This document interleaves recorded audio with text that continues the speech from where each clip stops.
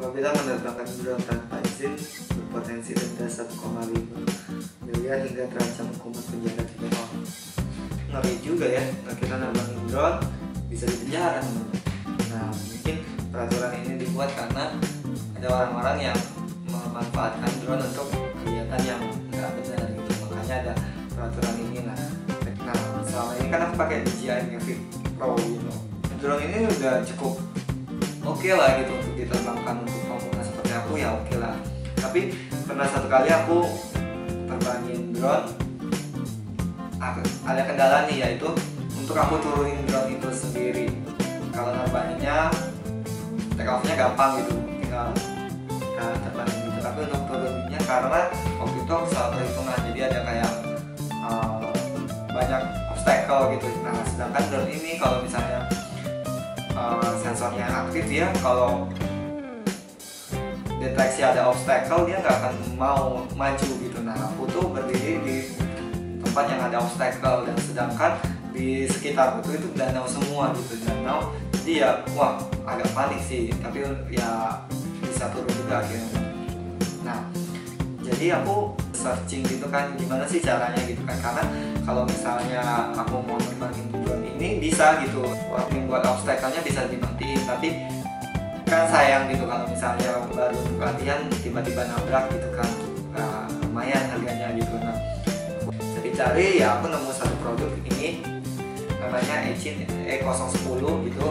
Nah ini drone nya kecil sebutannya ya orang menyebutnya micro drone kita buka ya aku udah buka sih kita coba buka isinya apa aja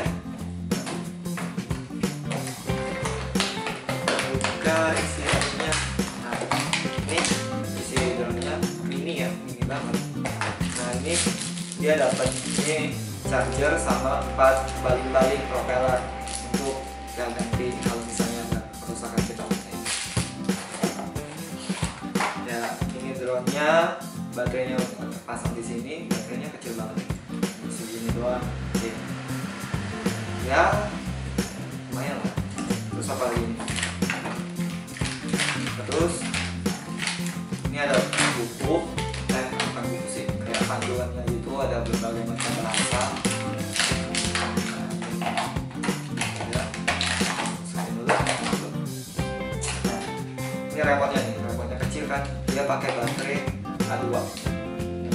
A2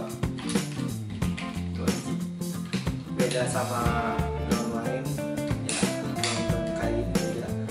Mereka agak satu sendiri.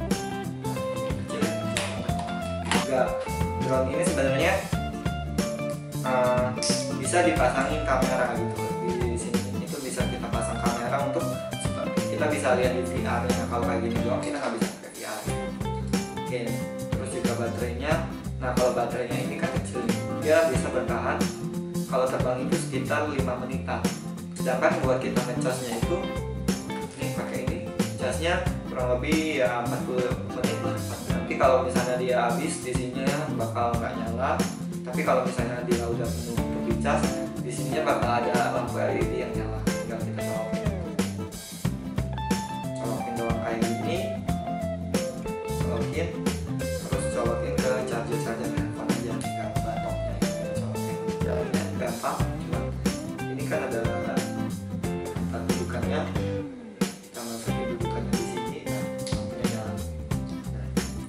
kalau lampunya nyala kayak gini berarti dia belum connect.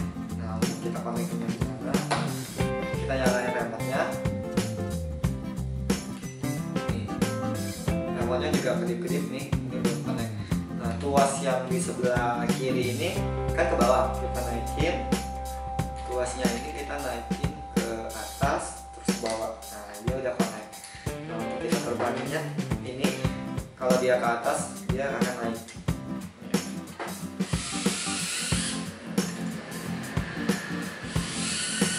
dia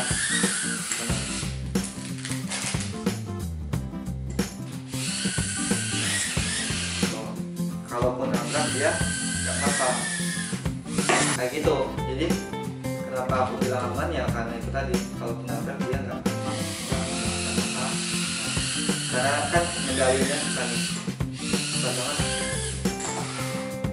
Oke. Nah jangan lupa teman-teman kalau teman-teman mau belajar drone gitu pastikan benar-benar itu aman gitu jangan sampai nanti merugikan orang lain. Uh, nggak baik juga kan kalau misalnya kita merugikan orang lain juga. Jangan memanfaatkan drone ini untuk kegiatan yang nggak benar gitu lebih baik kita manfaatkan untuk benar-benar hobi kita untuk komersil atau apa jangan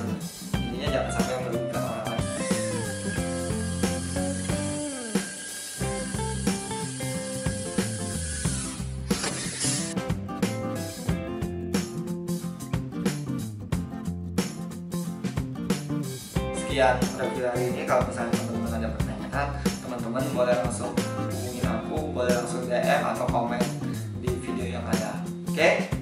Sampai ketemu di video selanjutnya. Bye bye